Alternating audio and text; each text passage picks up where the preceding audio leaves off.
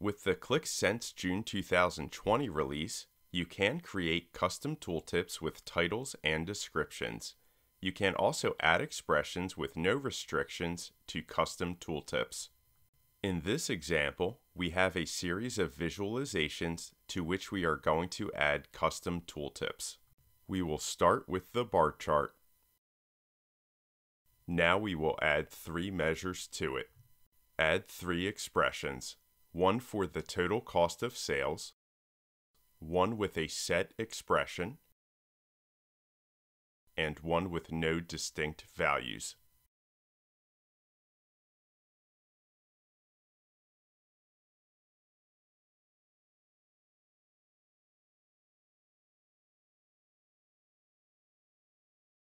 As you can see, the tooltip in the bar chart now shows the three measure values.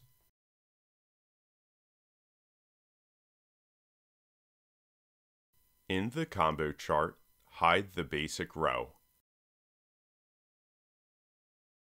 Then add the field country for the title. In the description, we add an expression to show distinct values for the city field. Now, for each bar, the tooltip shows the country name and in the description, all the cities related to that country field. In the line chart, hide the basic rows. Add the fields year and quarter to the title. This is an example to show you how you can now add custom tooltips in line charts as well.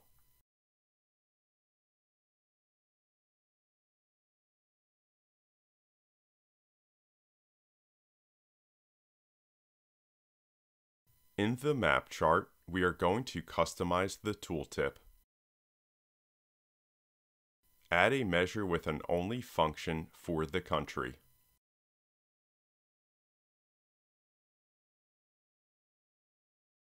Next, as a second measure, add an aggregation function.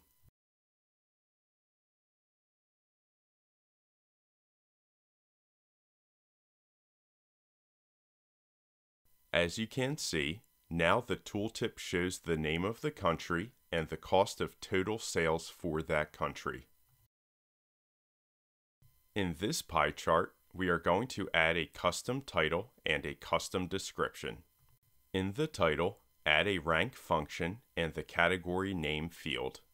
In the description, add some sample text. As you can see, the tooltip now shows you the ranked number for each category based on the cost of sales measure with the custom description. In this scatter plot, for the custom tooltip, add the customer ID field and the customer name field as the title. And then, in the description, add the address, a line break using Unicode, and then the country. As you can see, the scatter plot now shows the customer ID and name, followed by the address and the country. In the last example, add a title, a rank, and deviation from average in the description.